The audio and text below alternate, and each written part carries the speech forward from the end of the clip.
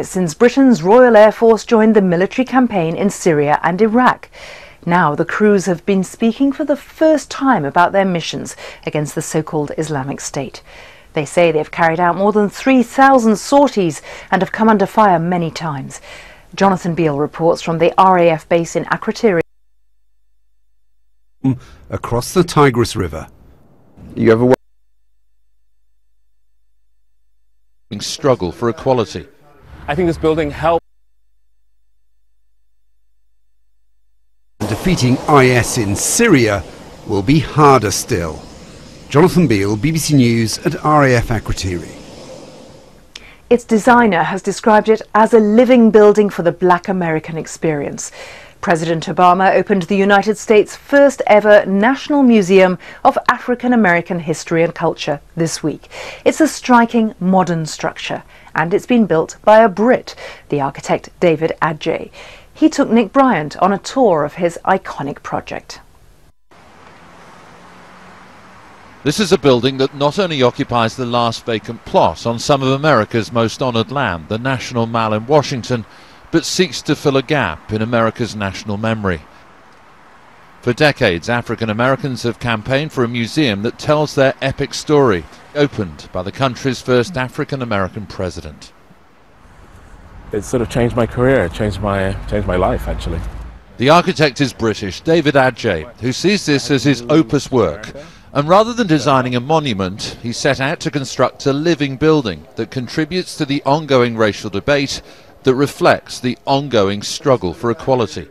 I think this building helps to really allow people to understand each other and to understand how people are interrelated in many ways and how the path forward is not separation but understanding and kind of coexisting. So I think that this building comes at an opportune time in America to really remind it of its incredible rich history and its own contribution to that integration story.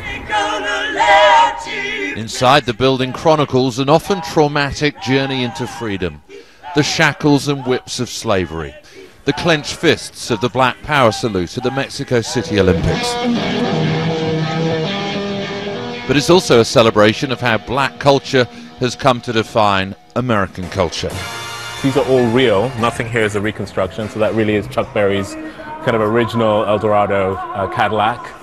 So has it been a challenge for a British man to help tell an American story. I try not to think about that because if I did, I would collapse and I would probably need therapy because it's a very weighty subject. But I think what I bring to it is a professionalism about what I believe architecture can contribute to that, that, that issue.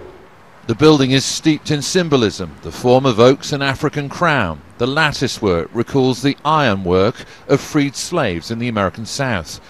Windows look out over landmarks of the freedom struggle, like the Lincoln Memorial, the pulpit from which Dr. Martin Luther King delivered his I Have a Dream speech. David, this building's coming to completion. Yeah. As Barack Obama's presidency yeah. is coming to completion. Yes. Have you been struck at all by the irony of that? It's been very beautiful, the irony. I mean, we started when he started his presidency, and he was very instrumental in helping um, you know, get the first tranches of money through Congress and releasing that to really get the project going. And in, in, a way, it feels like a wonderful bookend that, you know, from slavery can come, you know, a son of America who is of African descent who becomes the president of, you know, the most powerful nation in the world. And the story goes on. This is the most important public building to open in Washington in decades. And surely the most meaningful structure that one of Britain's most celebrated architects will ever see to fruition. Nick Bryant, BBC News, Washington.